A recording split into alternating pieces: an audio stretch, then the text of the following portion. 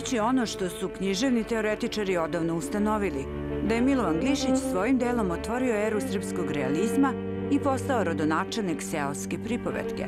Ali refleksija njegovog dela i njegovog lika, iako je prošlo 11 decenija od Glišićeve smrti, doseže do današnjeg dana i iziskuje nova preispitivanja, mada ni podsjećanja nisu suvišna.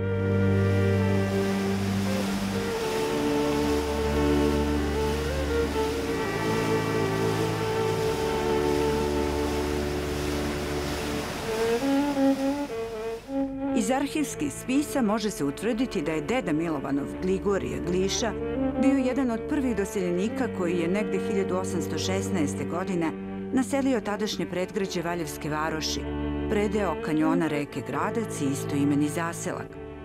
Valjevci s ponosom baštine činjenicu da je Glišić bio njihov zemljak i sugrađanin, a s posebnom emocijom ističu to oni koji su poput njega detinstvo proveli uz gradačke virove i vodenice – za koje se opravdano pretpostavlja da su uticale na fantasmagoriju koje ima u Čamilovanovoj prozi. Kažu da je ovde negde iznad vaše kuće bila kuća Glišića, da ste prve komšije zapravo. Jeste, kao dete se sećam, sećam se dva duda koje su bilo, jedan veliki, da je bio vezan veliki pas i bilo je kamenje. Kamenje je bilo i bile su dve belošljive koje više nema. Inače, ovo kuća Markovića, tu je bila pokojna Margita Marković, žena koja je držala sama šest krava i ovci i držala, izdržala celu kuću. Posle je to vreme učinilo svoje i sve za raspog korov. I šteta. Temelji kući su bili malo gore ovaj, iznad nas, odavde 150-200 metara. Ono, kad smo bili deca, mi smo se igrali, ipak je to bilo pre 40 godina. Poznavali su se još ti temelji tada. Sad već malo njih i pamti, a ne vreme i da se poznaje šta više gore, da se zna gde su bili. Mističan predeo. I dan danas, a, a taman u ono vreme kada je Milovan živo i više od toga. Kao deca jeste se plašili uh, kad padne mrak da prođete pored vodenica kojih ima ovde još uvek bar u tragovima? Pa ne, jer mi na Ovakući imamo vodenicu, tako da ovaj, dve, tri već. Ovaj, tako da mi smo odrasli u vodenici, nismo imali razloga da se plašimo tih lepih priča koje je pisao Milovan Glišić. A jeste plašili došljake tim pričama? Pomalo, pomalo, školske drugove i tako. Je se verovalo ovde u priče o vampirima, o Savi Savanoviću? Da su priče pričane, a da u tim pričama ima istine, to je tačno. Sve su to ljudi pričali iz iskustva. I da postoje, e, postoje prirodni procesi i E, prirodne stvari koje su nejasne čoveku, samo ljudi koji su u prirodi mogu da vide i osete smisao života i sav, o, priče o Savi Savanoviću nisu izmišljene, nego su doživljene. Pa pričali nekada je bilo vampira tamo u Zaroškoj vodenici, ali ja čisto sumljam. Ja sam skoro ovde u ovoj vodenici 28 godina radi kako je namještena. Ali nema niđe ništa takvima. Rodna kuća Milovana Glišića odavno ne postoji, a do mesta gde se nalazila moguće doći jedino uz asistenciju starosedelaca koji se iskusno probijaju kroz šiblje. Nije teško zamisliti da je dečak Milovan ovde provodio bezbrižne dane i već tada pokazivao posebnu nadarenost što je roditelje podstaklo da ga školuju. Kažu da se baš ovde na ovom proplanku iznad reke Gradac rodio Milovan Đeglišić. Da je tu njegova rodna kuća i da je tu ispod jedne stare kruške učio prva slova. Da je pisao Orlovim perom, a ne guščijim, kao svi drugi, po želji svojih roditelja, koji su osetili da će njihov sin daleko dogurati. Put je vrlo rano Milovana odvojio od roditeljske kuće i Valjeva. Milovan Glišić zapravo nije puno kontaktirao sa od kad je otišao iz Valjeva 1864. godine. Ono što je značajno, to je da, da je Milovan Glišić odavde poneo ne samo, ne samo to čistotu jezika, nego i taj britki humorni duh koji je po nekim i čak i Skelićevim tvrdnjama karakterističan tipično, karakterističan tipičan za Valjevca.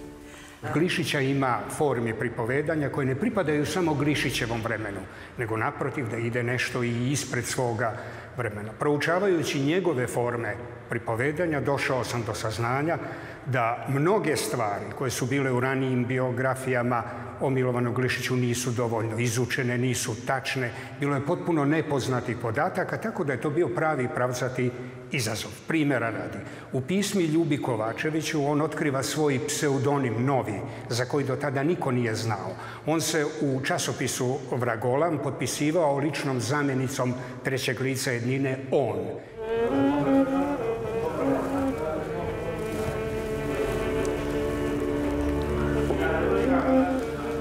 Na Đurđevdan umrla mi je mati. Sestru sam morao dovesti sebi. Moram se za nju starati sve i sva. Da je muško, lako bi mi bilo. Ali ovako, sami možeš razabrati. I to je jedan veoma jak uzrok i nužda koja me gone da što pre sa školom kvitari. A pored toga, dok je izučim, da se više staram o zaradi nego li o školi. I veruj mi, Ljubo, sutra bih je ostavio samo da se ne traži ovo prokleto crno na belo. Da Glišićevi savremenici i kolege nisu uočili i priredili zapise o njegovom delu, moguće je da ni danas ne bi bio adekvatno vrednovan. Prvu biografiju Milovana Đaglišića napisao je 1898. godine Janko Veselinović, njegov sinovac, kako ga je iz Milošte zvao. Za Janka, po peru mlađe kolegu, bliskog prijatelja iz reda tadašnje beogradske poemije, Milovan je bio Čiča ili Ča, tako su ga zvali. Tako je i ostao zapamćen. Prve lekcije dobio je od svoje majke i naučio je čitati u rođenoj kući. Sad je trebalo da uči pisati. U selu nije bilo škole, majka mu nije znala, zato otac koji nije znao ni pisati, ni čitati, digne se jednoga dana i ode u Valjevo. U doba Milovanovog detinjstva čelično pero beše prava redkost, nego se pisalo guščijim perima. Milovanovim se roditeljima guščije pero nije dopadalo. Oni su hteli da njihov sin bude što duhovitiji, te zato otac njegov ponese sobom u Valjevo jedno pravo orlovo pero. Gazda! Gazda! Kome da ide? Glišićeva svestrenost je zapanjujuća i s aspekta današnjeg vrednovanja. Slobodno se može reći da je jedan od najboljih znalaca srpskog jezika koji je insistirao na realnim, kratkim i tačnim opisima, smatrajući to kvalitetom, mada su mu neki teoretičari zamerili, što se premalo zadržavao na psihološkim karakteristikama likova. On to jednostavno nije ni hteo. Vrednost njegove proze je zapravo u dobroj anegdoti, stvarnom prikazu i događaja i ljudi, dubokoj pravičnosti, poznavanju duše naroda i problema koji su svevremeni. Siromaštvo, zelenaši, falsifikatori, skorojevići, nekompetentni, korumpirani činovnici, prevaranti. Ne pada meni sa neba. Ma gazda si ti, kuš Davide. Ne možeš ti zbog sirotinjskih para propasti. Glišić je napisao dva pozorišna komada i 30 pripovedaka, među kojima su najpoznatije prva brazda, glava šećera, roga. Autoritetom vrhunskog kritičara, Jovan Skerlić je Milovana Glišića postavio u rang najvećih srpskih pisaca svoga vremena, što je britkošću stilom i avangardnim idejama svakako i zaslužio. Neću za inat. Neću više da čekam. Pare na plac, jeli ću te na sud. Milovan Đ. Glišić, van svakog spora, osnivač je naše seoske pripovetke. A kada se govori o tom našem nacionalnom književnom rodu, ceo svet misli na Lazu K. Lazarevića i Janka Veselinovića, koji su u stvari išli već utabanom stazom. Iako je morao da napusti studije, Glišić je bio veoma obrazovan. poliglota koji je prevodio najznačajnija književna dela sa ruskog, nemačkog i francuskog jezika. Njegovi prevodi Tolstojevog rata i mira, Gogoljevih mrtvih duša i Tarasa Buljbe i danas padaju najbolje prevode na srpski jezik. U prevodilačkom poslu sarađivao je sa mlađom sestrom Stankom, o kojoj je i brinuo kad je bila dete. Kraj svega ovoga ozbiljnog postupanja, brat me je, mogu reći, mazio. Iznajpre me od Milošte zvao Stanko. A docnije, kad je postao pomoćnik urednika srpskih novina i kad je za podlistak prevodio Gončarevljevog oblomova, prozvao me je Zaharom, jer sam bila dosta nespretna. Čas ispustim kašičicu, čas oborim knjigu, a često puta govorio mi je dete moje. Službovao je Glišić u više različitih institucija. Bio je i pomoćnik urednika u srpskim novinama, korektor u državnoj štampariji, kasnije pomoćnik direktora Narodne biblioteke, a smatra se da je centralno mesto u njegovom poslovnom angažmanu obeleženo periodom provedenim na mestu dramaturga Narodnog pozorišta u Beogradu. Glišić je bio Valjevac i kad je sedeo u loži e, Narodnog pozorišta i kad je bio korektor u državnoj knjigopečati, odnosno u državnoj štampari i kad je bio pomoćnik bibliotekara u Narodnoj biblioteci, on je bio pravi pravcati Valjevac. On je, poti, on je, nado, on je, on ima, on potvrđuje praktično jednu misao da čovek jezik upije sisajući majčino mleko. Znači, on je zaista taj valjevski jezik koji je sočno upotrebljavao u svojim književnim delima, a i u svakodnevnom govoru poneo iz Valjeva.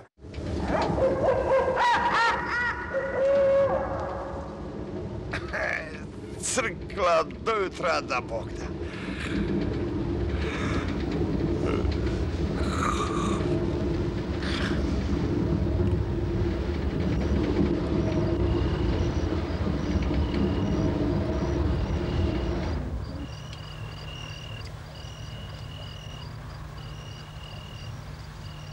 Možda se najintrigantniji deo literarnog opusa odnosi na uvođenje u književni život prvog srpskog vampira, Save Savanovića.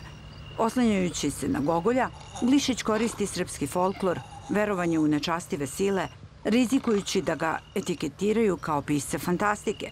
Njemu, odraslom pored vodenice na reci Gradac, nije to bilo teško, a pokolenjima je ostavio intrigantnog vampira da se spore o njegovom poreku. Potonjem piscima inspiraciju.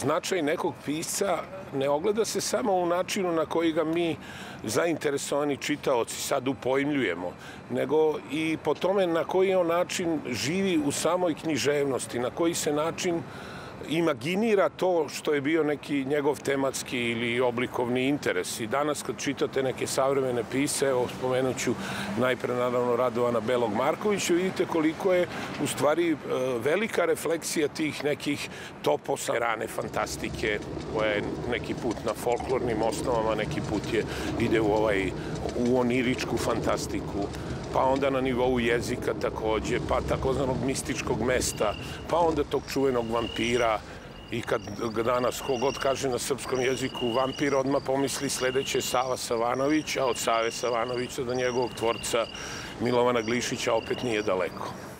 Ja sam nekako uzvodno od Valjeva u mladosti dopro i toga kako gradac nastaje, kako do onih rečica koje tvore zapravo gradac, koji na jednom mestu ponire, pa onda izvire ponovo, pa onda se uliva u kulubaru i tako dalje. A, to se sve osjeća u pripovetkama Milovana Glišića. Osjeća se to bilo Valjevskog zaleđa, Valjevskih planina, Valjevskih brda, u šta ja, bez obzira na te aktuelne teritorijalne podele i tako, šta ja upravljam i Mitsko zarožje iz njegove čuvene pripovetke posle 90 godina. On je rođen u Gracu i sve je to video i znao. On je prvo na Gracu mogao da vidi te vodenice, pa onda da ne jedno od njih, mislim, vidi svojim duhovnim očima, a možda i lično u Zarožju, koje je postalo a, jedan miski kraj, jedno misko selo. A šta ja znam, mi ga doživljujemo kao nekakvu van stvarnostnu literarnu tvorevinu kao što su oni koji čitaju 100 godina samoće doživljuju Makondo.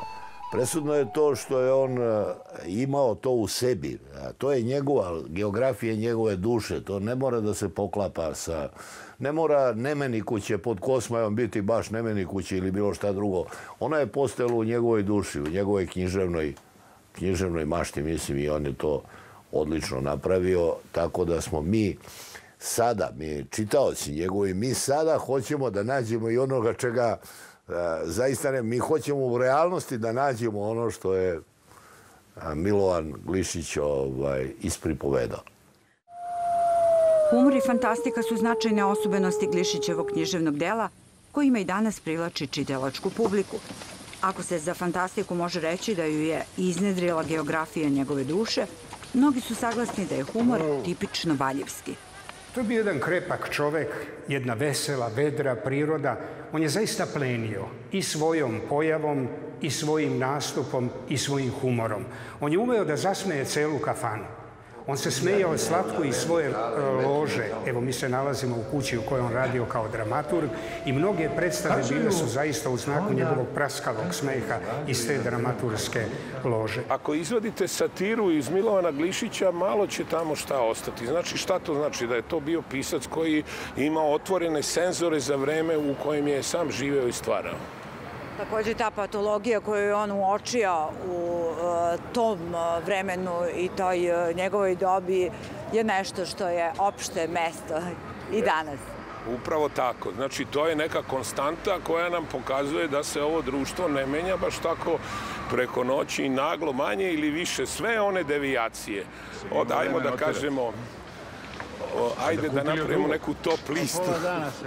Recimo, od te administrativne bezočnosti, E, pokvarenosti političara, korumptivnosti birokratije, iskvarenosti poluinteligenata, pazite, poluinteligenata, znači oni kao to, to već imate kod sterije takođe, znači to pokazuje da, boga mi, se nismo previše odmakli od Glišićevog doba. A gde će ti duša? Kao što je sam život Milovana Đuk Glišića bio pun kontroverzi, problema i peripetija, Tako i podizanje spomenika u rodnome Valjevu nije moglo proći bez iskušenja. Koncepcija izgradnje trga u Valjevskom nasilju Gradac, gde je Glišić rođen, menjana je nekoliko puta, što zbog neusaglašavanja stavova, što zbog financija. Umesto biste na šestougalnom postamentu, koju je u bronzi već uradio vajar Branko Jovanović, odlučeno je konačno da u skladu sa savremenim zahtevima javni spomenik podrazumeva skulpturu u slobodnom prostoru – i da bude izgrađen spomenik impozantnog gabarita u Venčačkom mermeru. Zadatak je poveren akademskom vajaru Miodragu Živkoviću, a svečano je otkriven pred oko 10.000 ljudi oktobra 1968. godine. Godinama je u Valjevu za bogojavljenje održavano Glišićevo poselo u spomen domu posvećenom njegovom životu i delu. Ta lepa tradicija je prekinuta, a spomen dom je u tužnom stanju bez odgovora na pitanja o daljoj sudbini – Interesantno je da je i književna nagrada koja nosi njegovo ime dodeljena samo jednom, 1972. godine Mirku Kovaču za roman Rane Luke Meštrovića. Grad Valjevo mu je tu nagradu oduzeo dve godine kasnije uz obrazloženje da roman izvrgava ruglu tekovine revolucije. Odluku o pozivu odbornici Skupštine opštine Valjevo poništili su 1989. godine, ali se od tada Uprkos mnogim inicijativama ništa više nije preduzimalo na njenoj obnovi. Valjevo nije zaboravilo Milovana Glišića. Stručna javnost nije zaboravila Milovana Glišića. O tome govore različite aktivnosti koje su se organizovale povodom obeležavanja 170 godina od njegovog rođenja. Ali da li je to dovoljno? Valjevska biblioteka mislim da se dostojno odužila Milovanu Glišiću i za mene se upravo nalazi deo postavke koji je posvećen njegovom životu i radu, zato što je on uvršćen u kompleks koji se zove Muzej zavičajnih velikana kao zavičajno odeljenje Valjevske biblioteke. Valjevo ima ulicu Milovana Glišića, Valjevo ima spomenik Milovana Glišića, Valjevo ima osnovnu školu koja nosi njegovo ime, imalo je nekada i nagradu koja je nosila njegovo ime. Mislim da zaslužujemo i on zaslužuje, a mi kao sredina od koje je on potekao, da se posvetimo detaljnije tom poslu. Pre svega možemo govoriti o ponovnom organizovanju nagrade Milovan Glišić. Da se opravdamo za ono što smo uradili ili kako smo uradili, da to bolje uradimo. A možemo govoriti i o spomen domu Milovan Glišić koji je u Valjevcima ostao jednom lepom, dobrom sećanju i mnogi se pitaju zašto se taj prostor ne nalazi ponovo u funkciju koja je nekada bio. To je odgovor koji zaslužuje malo dužu, duže bavljenje i analizom i traži pitanje i odgovore kod nekih drugih e, koji se bave tim prostorom i koji su vlasnici tog prostora. U svakom slučaju, e, godišnjica od 170 godina tog jubileja e, dala je priliku da govorimo sada, a ja sam sigurna e, da jubileji imaju, koliko god delovali, onako svečarski imaju svoju ulogu. To je da nas podsjete da istorija se gradi svakog dana. Ono što se događa danas, to će jednog momenta biti istorija, bit će kulturno nasledđe i ne možemo se olako prema njemu ponašati.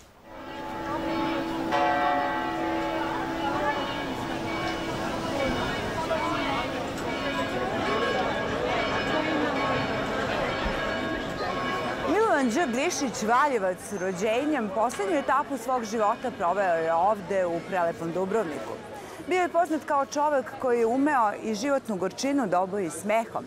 Pa ne bi čudilo da je svesno izabrao da svoje ovo zemaljsko postojenje okonča baš ovde uz more, morske struje i vetrove. U Dubrovniku posećujemo pravoslavni hram u Starom gradu – Raspitujemo se gde je groblje Boninovo na kojem je Glišić sahranjen i ima li Srba pravoslavaca u ovom gradu. Mislim, ja, ja na to ne gledam m, tragično što, što broj opada. Smatram da je to jedan onako prirodan proces. Isto tako nije isključeno da, evo, sada recimo ove, kako se kaže, trgovinsko-političke varijante. Hrvatska ima problem. Mnogo, mnogo ljudi nedostaje koji bi radili tu i sad se već neke kvote povećavaju za ovaj, uvoz radne e, snage, recimo iz Bosne i Hercegovine, Srbije, Crne Gore. Ovaj, tako da to opet može da bude. Znate, nasele se tri, četiri para, rode po troje, četvoro djece i evo ga popuni se hram brzo. Komu je savjetovao da ide u Dubrovnik, ja to ne znam. Tek on se spremi da ide. Ja stanem navaljivati da i ja idem s njim, jer je on još nemoćan, pa mu može na putu pozliti. Ali on mi ne dade, navodeći kao razlog da deca u školi ne dangube. Iz Dubrovnika sve do januara 1908. godine pisao mi je da mu je mnogo bolje a tada počeše dopisnice sve ređe i ređe dolaziti, dok me 21. januara kao grom nepogodi glas da je umro. Kad sam putovala u Dubrovnik, ništa nisam gledala, ništa videla. Prosto bila sam kao u nekoj gustoj magli.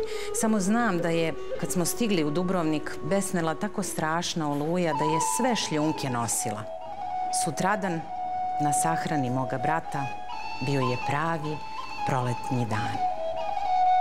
Glišićeva smrt pogodila je prijatelji i poklonike, brojne saradnike. Dubrovačka štampa pisala je da je srpski narod i srpsku knjigu zadesio težak udarac, a da je srpska vlada odredila da zbog njegovih velikih zasluga pokojnikovo telo o trošku države bude preneto i sahranjeno u Beogradu. Međutim, zbog određenih prepreka to nije moglo biti urađeno. Nikada nije utvrđeno zašto, ali je zasigurno da se na sahranu čekalo više nego što je uobičajeno. Umro je 20. a sahranjen tek 26. januara po starom kalendaru. Dok se čekalo na konačnu odluku gde će biti sahranjen, telo je balsamovano i izloženo u kapeli pokrajinske bolnice, a građani su dolazili da se poklone senima Čiča Milovana. U drugoj povorci, osim sestre Stanke, bili su i predstavnici srpskih i dubrovačkih vlasti, brojni građani, Od Milovana se oprostilo više besednika, a danima nakon sahrane počast mu je ukaziva na natpisima u štampi i na kulturnim dešavanjima u Dubrovniku i Beogradu. Većina govornika u nekrolozima pominje jedinstvo Srba i Dubrovčana od burnog Jadrana do plavog Dunava. U predvečerje aneksione krize ideja jugoslovenstva bila je vrlo živa, što je Austriji smetalo, pa su vlasti budno pratile sve u vezi sa sahranom Milovana Glišića. Nekoliko meseci kasnije objavljena je aneksija Bosne i Hercegovine. Ipak, iskrena tuga bila je očiglednija od policijske radoznalosti. Čiče Milovana oplakivali su Dubrovnik i Srbija. Ovdje imamo podignut, kao što vidite, i jedan spomenik. To su verovatno podigli crkva i poštovaci njegove umjetnosti, njegove književnosti, odnosno dubrovački, dubrovački Srbi. I tako od tada pa do danas uvek kada je običaj da se ovde vrše mali pomenovi, prekadi se, odnosno izvrši se mali pomen i našem poznatom književniku Milovanu Glišiću. Tako da gradac, njegovo rodno mjesto i Dubrovnik su povezani njegovom ličnošću i tako će valjda ostati i dalje i kad god se setimo Milovana Glišića i njegovih divnih dela, setimo se i Dubrovnika i njegovog sela Gradca, odnosno koji je sada valjda predgrađe Valjeva. Mislim da ih premalo zna e, da naš veliki književni sahranjen ovdje premalo koliko bi trebalo. Pa ja dolazim još od detinstva. Znam da sam prvo u školi učio još u osmogodišnjem o, o srpskim piscima. Spomenut je bio i Milovan Glišić. I to sam memorirao i bio sam vrlo iznenađen jednom prilikom par godina kasnije kad sam na našem groblju vidio nisam mogao to nikako povezati. I u kasnim nekim e, kontaktima s našim ljudima vi vidite da oni nisu svjesni da je Milovan tu kod nas. Je li Milovan Glišić bezbedan ovde? Pa da. Ne, vremena su se promijenila, ne znam koja kakva dolaze, ali što je bilo, bilo je, sad je sasvim nešto drugo. Pa vjerojatno, nadamo se da će biti sve u redu. Iako je bilo, možete pogledati ovdje, tu su pale dvije, tri granate i tako. Ali vjerojatno ne ponovilo se. Kako žive Srbi pravoslavci ovdje u Dubrovniku? Pravo da vam kažem, pravoslavci žive sada kao i Hrvati.